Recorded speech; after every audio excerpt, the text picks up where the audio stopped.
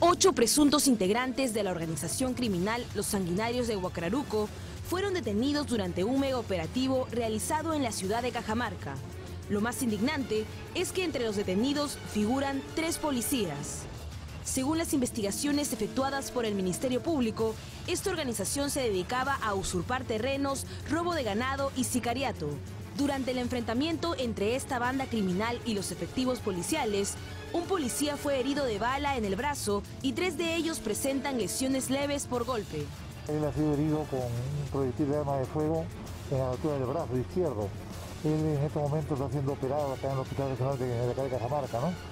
Eh, los otros tres policías que han sido heridos han sido heridos policontusos, producto de algunas caídas de las intervenciones, ¿no? El general Luis Cacho Roncal lamentó que miembros de la policía estén implicados en estos actos delictivos. De los nueve eh, detenidos, hay tres policías que estarían implicados.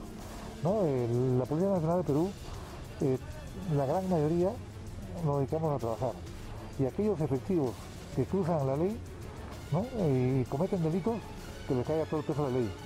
Esta organización criminal vendría operando ilícitamente desde el año 2011, cuando invasores de diferentes comunidades usurparon las tierras de la cooperativa agrícola José Carlos Mariátegui, originando que 14 trabajadores hayan sido asesinados al tratar de recuperar su ganado y expulsar a las personas que se encontraban en el lugar.